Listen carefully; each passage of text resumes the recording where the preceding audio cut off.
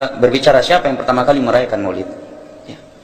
yang pertama kita bisa mengucapkan secara pasti dan ini yang disebutkan oleh para ulama bahwa yang merayakan kelahiran Nabi bahwa merayakan hari kelahiran Nabi Shallallahu Alaihi Wasallam di masa Nabi belum ada. Nabi dan para sahabatnya tidak pernah merayakannya. Tidak pernah merayakan kelahiran beliau dengan suatu ibadah atau dengan suatu aktivitas duniawi. Tabiin juga tidak. Tabiut tabiin juga tidak. Empat imam madhab juga tidak. Di abad ketiga juga Di abad keempat baru dirayakan hari kelahirannya Nabi Shallallahu Alaihi Wasallam.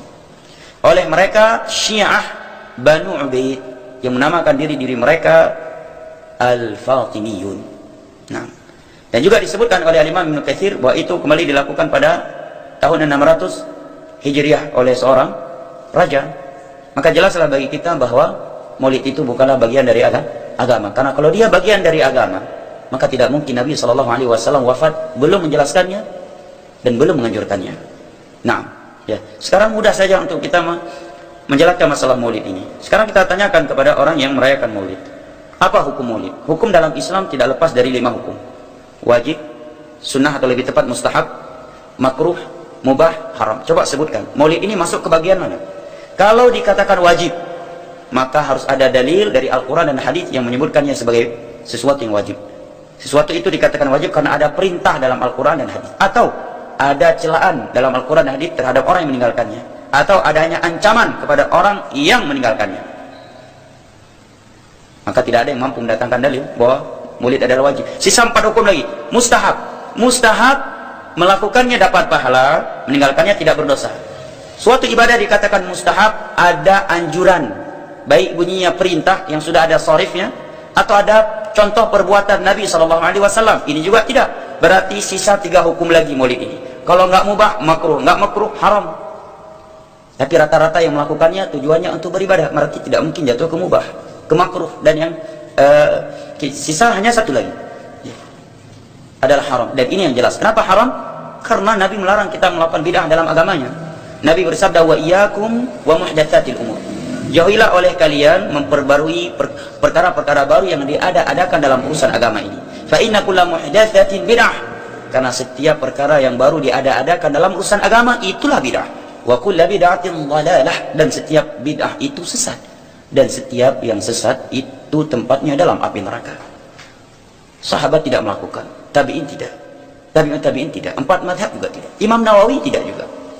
Jadi siapa? Salaf ya uh, salaf kita dalam maulid bagi orang yang melakukan maulid adalah syiah maka aneh kalau dikatakan ayo kita kejar syiah syiah sesat tapi kita mengikuti ajaran yang dicetus oleh syiah yaitu maulid nah merayakan maulidnya Nabawi. Nah, kalau ada yang berkata berarti Anda tidak cinta kepada Nabi, maka saya katakan, apakah bentuk cinta kita kepada Nabi adalah merayakan dan mengenang hari kelahiran beliau sekali dalam setahun? Nauzubillah. Nabi harus kita kenang, harus kita ingat 24 jam. Ya, setiap salat kita mengingat beliau. Kita berselawat kepada beliau di tasyahud kita. Bahkan kita dianjurkan untuk selalu berselawat kepada beliau dan khususkan selawat kepada beliau di waktu-waktu yang telah dikhususkan dalam syari seperti hari Jumat ya dan seterusnya tidak cukup cuma setahun sekali. Dan bukti yang nyata akan cintanya seorang umat beliau kepada beliau adalah menjalankan perintah beliau dan meninggalkan larangan beliau. Di antara larangan beliau adalah bid'ah. Barakallahu fikum. Sebagaimana kita maklum bahwa bulan Rabiul Awal adalah bulan Maulid Nabi besar Muhammad sallallahu alaihi wasallam. Dalam rangka menyambut dan memuliakan bulan ini diadakan kegiatan maulid dengan berbagai istiadat daerah masing-masing. Maklum memuliakan meneladani Rasulullah SAW namun pada saat yang sama ada kalangan tertentu mengklaim sebagai ahlu sunnah mengatakan kegiatan semacam ini bid'ah sesat dan menyimpang dari sunnah sallallahu alaihi wasallam. Saya tidak bisa jawab.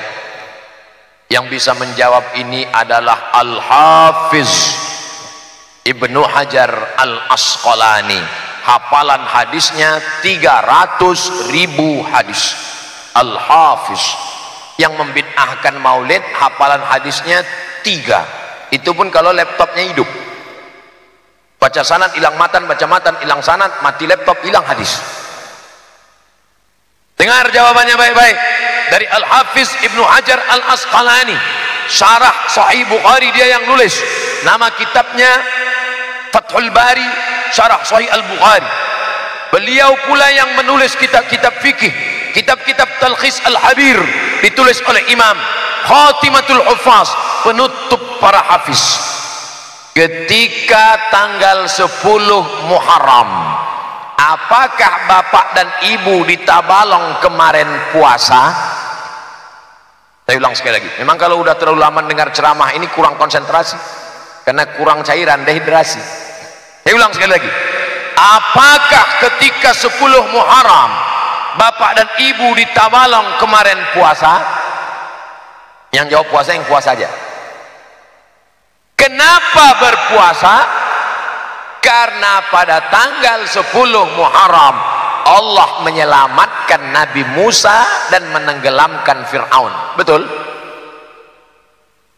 Allah menyelamatkan Nabi Musa itu tanggal 10 kemarin atau 3000 tahun yang lalu? 3000 tahun yang lalu brother. Tapi kenapa diulang setiap tahun 10 Muharram puasa 10 Muharram puasa 10 Muharram puasa itulah dalil boleh memulangi maulid bertahun-tahun setiap bulan Rabiul Awal. Kenapa? Karena boleh mensyukuri nikmat yang sama pada tanggal yang sama diulangi bertahun-tahun.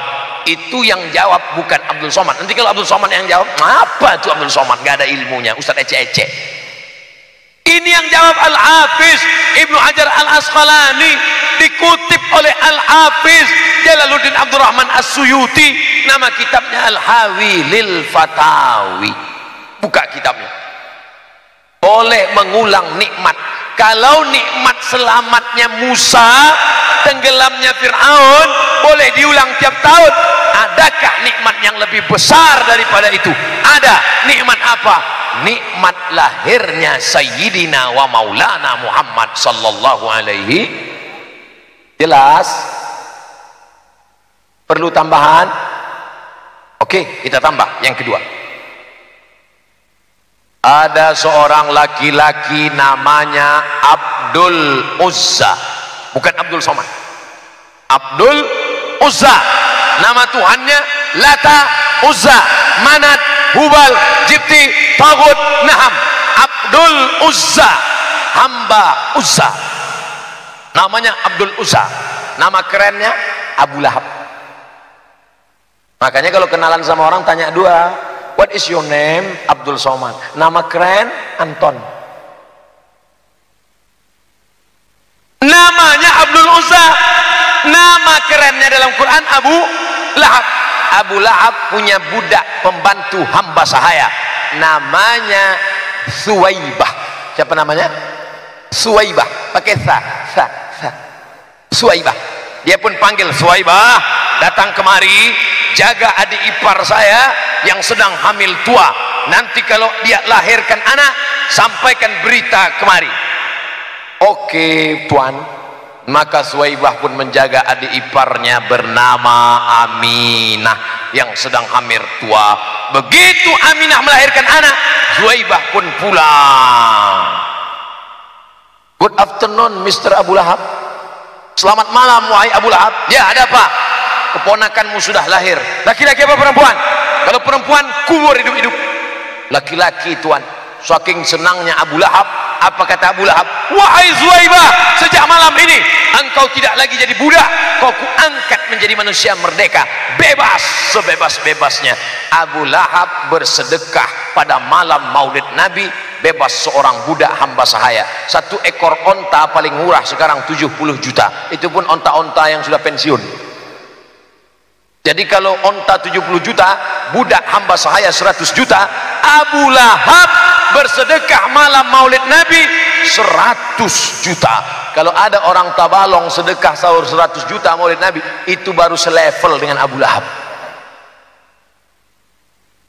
Makanya untuk menyenangkan hati Rasulullah SAW pas acara maulid kelahirannya potongkan sapi, potongkan kambing, potongkan ayam bagi manisan-manisan jangan lupa potongkan itik undang kaum muslimin muslimat. Dengan syarat. Oh, ini syaratnya ketat maulid ini. Lima. Yang pertama baca Quran. Yang kedua baca maulid. Yang ketiga tausiah. Yang keempat doa. Yang kelima makan-makan. Kalau cukup syarat itu laksanakan. Tapi kalau ada maksiat di dalam maka tinggalkan tapi insya Allah maulid-maulid yang dibuat umat Islam itu semuanya bernilai ibadah insya Allah amin ya Rabbal laqad kana lakum fi rasulillahi uswatun hasanah Sungguh ada pada diri Nabi Sallallahu Alaihi Wasallam suri teladan terbaik untuk kita. Maka jika antum misalnya hadir momentum kelahiran Nabi Sallallahu Alaihi Wasallam, maaf, biasanya kalau ada momentum-momentum tertentu orang bersemangat untuk mengingatnya. Silahkan cek. Hari pahlawan, ingat para pahlawan. Hari pahlawan berakhir, tidak ingat lagi. Hari kemerdekaan, ingat sampai pinang dipanjat-panjat. Ya, begitu dipanjat, kenapa panjat pinang? Masya Allah, menghormati pahlawan. Hari pahlawan sampai naik panjat pinang. Luar biasa. Ada yang tarik tambang, ya, menghadirkan energi para pahlawan. Antum bisa bayangkan, momentumnya ada. Begitu hilang itu semua, tiba-tiba hilang lagi kemudian ingatan kita. Artinya, selalu ada momentum untuk mengajak kita mengingat sesuatu. Begitu Ramadan, ingat lagi amalan. Hilang Ramadan, hilang lagi kemudian amalan. Nah, jadi apa yang terbaik dihadirkan? Ketika ada momentum itu, maka para ulama kemudian mencoba untuk menampilkan nilai-nilai tadi untuk mengembalikan kita pada tuntunan Nabi sallallahu alaihi wasallam. Maka ditulislah kemudian sirah-sirah Nabi. Disampaikan untuk mengenalkan Nabi Muhammad sallallahu alaihi wasallam. Mumpung mereka ingat. Disampaikanlah pengajaran-pengajaran tentang Nabi. Disampaikan ada pujian-pujian salawat kepada Nabi. Kalau yang dimaksudkan tentang nilai-nilai ini, maka dari dulu sudah ada. Sudah ada. Dan yang sudah ada ini tidak dibatasi dengan waktu. Bukan muncul Rabiul Awal saja. Rabiul Awal ke Safar, datang lagi itu. Safar ke, kemudian, uh, sebelumnya Safar, Rabiul Awal, kemudian ke Rabiul Akhir, muncul itu. Ke Jumada, muncul itu. Jadi maulid itu tidak dibatasi dengan waktu. Setiap waktu itu maulid. Maulud tidak dibatasi dengan waktu. Setiap waktu itu maulud. Tapi kalau ada momentum bersamaan dengan waktu kelahirannya, kemudian kita hidupkan untuk mengenal kepada Nabi, dalam bentuk yang tadi disunahkan dalam Al-Quran dan Sunnah, itu tidak ada masalah. Yang ada masalah itu adalah ketika menghadirkan hal-hal yang bertentangan dengan Al-Quran dan Sunnah Nabi Sallallahu Alaihi Wasallam. Misal, maaf, maaf, dulu orang sudah terbiasa mengkaji tentang Nabi, menyampaikan risalah Nabi. Kemudian diisi misalnya, maaf dengan hal-hal yang bertentangan dengan keadaan-keadaan Nabi. Misal, saya ingin mengajarkan tentang Nabi, tapi ketika mengajarkan tiba-tiba mengatakan pada saat ini Nabi pun datang bergabung bersama kita. Itu yang tidak kita sepakati. Jelas ya? Misal yang kedua, antum nih, mohon maaf, mohon maaf, mohon maaf, kerja di instansi. Oh, bertepatan dengan Maulid Nabi, kita adakan peringatan. Padahal antum cuma ingin mengeluarkan anggaran saja dari situ. Itu bid'ah. Bid'ah. Mengeluarkan anggaran, sekedar hanya ingin dapat anggaran untuk dalam momentum Maulid Nabi itu yang bid'ah. Maulid bukan makan-makan. Jadi kalau antum mengadakan Maulid Nabi hanya sekedar untuk makan-makan itu yang bid'ah. Tapi kalau antum ingin belajar menghadirkan momentum itu untuk mengisi taklim, sama aja dengan taklim kita sekarang. Apakah ada hadis Nabi mengatakan taklim khusus di hari Ahad jam 8 pagi sampai jam 10? Tidak ada. Di taklim kita bid'ah ini. Jadi kalau antum pahami setiap yang tidak ada contohnya itu bid'ah, masya Allah, maka akan ada banyak bid'ah dalam kehidupan. Mushaf itu bid'ah, karena nggak ada contohnya zaman Nabi Sallallahu Alaihi Wasallam. Antum dari ujung kepala sampai ujung kaki itu bid'ah, karena antum tidak ada di zaman Nabi Sallallahu Alaihi Wasallam. Ya, jadi jangan langsung menilai bahwa setiap maulid itu bid'ah. Bukan. Kalau momentum itu ingin diisi dengan taklim, ingin memperkenalkan Nabi, ingin mengajarkan syariat-syariat Islam, maka itu tidak ada masalah. Itu mengamalkan petunjuk-petunjuk ayat, bukan mengkhususkan di waktu itu, bukan, bukan. Karena taklim itu dibuka di setiap waktu, tapi menjadikan waktu itu untuk momentum, karena setiap orang sedang ingat Nabi pada saat itu. Das ya? Kapan lagi kita mendapati orang ingat Nabi? Maka ajarkan itu dan pesankan pada saat itu. Teman-teman, jangan cuma pada waktu ini ya. Setiap waktu kita amalkan ingatan kita kepada Nabi Sallallahu. Makanya saya kalau diundang, Ustadz ada maulid Nabi, ah, saya datang untuk ceramah untuk menyampaikan pesan-pesan terkait dengan Nabi Shallallahu Alaihi Wasallam. Adapun masalah ritual-ritual saya tidak ikutan. Makanya paham, begitu saya datang, saya datang pas ceramah. Ceramah, saya berikan ceramahnya. Nabi begini, apa itu maulid? Allahu alam. Bukan Allahu alam, kan antum bikin spanduknya di sini. Apa itu maulud? Maulud. Ma bukan maulud. Maulud itu begini, maulid itu begini. Ketika kita terangkan, kita sampaikan, Masya Allah. Antum tahu apa yang terjadi? Mereka mulai sholat dengan baik, masjidnya mulai ramai. Besoknya tidak ada ramai-ramai lagi. Begitu ada maulid, ceramah lagi. Ternyata ceramahnya nggak sampai maulid lagi. Besoknya ceramah lagi. Ahadnya ada waktu taklim. Dan itulah cara terbaik untuk memberikan penjelasan kepada masyarakat untuk mencintai Rasulullah Sallallahu Alaihi Wasallam. Paham ya? Jangan ketika, oh ini maulid bid'ah, maulid bid'ah. Masya Allah, antum tuh bid'ah dari kepala sampai kaki. Ya. Saya luar biasa kesal. Kadang ada orang bikin perbandingan begini. Maulid Nabi, maulid. Zaman Nabi tidak ada coret. Zaman sahabat tidak ada, coret. Zaman tabiin tidak ada, coret. Zaman ini ada, oh. Lalu diserupakan nah, yang ikut-ikut ke sini. Antum kalau meng mengamalkan hukum seperti ini, ini fatal. Zakat pakai beras. Zaman Nabi coret. Zaman sahabat coret. Ya, zaman tabiin coret. Zaman ulama coret. Zaman antum ada bid'ah antum. Cara menyimpulkan hukum bukan seperti ini. Lihat turunannya, lihat dalilnya, lihat pemahamannya, lihat turunan-turunan fikihnya. Ya, bagaimana bisa zakat pakai beras jadi padahal contoh nggak ada. Dalil nggak spesifik. Ayo coba temukan Nabi zakat pakai beras, temukan. Kalau antum menemukan, masya Allah saya bermohon kepada Allah supaya Allah mempercepat hajinya antum dan masuk surga tanpa hisab. Tiap hari saya doakan. Tidak cukup dengan amin, cari dulu. Cari di setiap hadis Nabi zakat pakai beras. Saya sampaikan pada antum, sampai kiamat kurang dua hari, antum nggak akan temukan. Sehari lagi buat sadar ngapain nyari. Ya. Karena Nabi tidak pernah bersentuhan dengan beras. Silakan cari di kitab hadis palsu pun, sepalsu-palsunya nggak akan ditemukan. Capek pemalsu hadis mengarang hadis palsu tentang itu. Nggak akan didengar, nggak akan dilihat. Kenapa? Karena tidak ada. Ya, kata Muawiyah hadza irtun, itu makanan pokok. Nabi zakat pakai kurma, pakai gandum. Ya, lihat, karena itu makanan pokoknya. Makanya setiap makanan pokok yang digunakan kata para ulama mendekati kaidah usul fikihnya. Lihat kaidah usul fikih diambil di sini. Setiap yang punya keserupaan dengan itu, sekalipun teksnya tidak jelas langsung menunjuk, itu ada isyarat namanya korinah namanya. Kalau ada isyarat menunjukkan kepada itu maka boleh digunakan sebagai alternatif lain dari makanan pokok yang tidak didapati di masa kita dengan generasi yang berbeda. Tapi kalau makanannya sama di setiap generasi, dia zakatnya pakai itu. Makanya orang Arab sampai sekarang pakai kurma, ada yang pakai gandum. Kita makanan pokoknya bukan itu. Antum makanan pokoknya apa?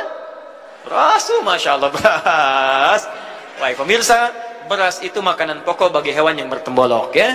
Ayam, bebek itu beras. Baik, makanan kita nasi. Dan nasi bersumber dari beras. Baik, nasi bersumber dari beras. Jadi kalau kita ingin zakat pakai beras, boleh tidak? Nah, Lihat bagaimana cara pendekatannya. Dalil belum ditemukan aslinya. Seperti maulid tadi, menyikapi dengan taklim macam-macam, nggak ada nas aslinya. Tapi korinanya ditemukan sama-sama makanan pokok, sama-sama taklim, sama-sama meminta untuk ikut ajaran, sama-sama mereka ingat tentang Nabi SAW. Maka semua hukum itu kita terapkan, jadilah hukum terapan dalam kehidupan kita. Paham? Dan itu tidak disebut dengan beda. Jelas ya?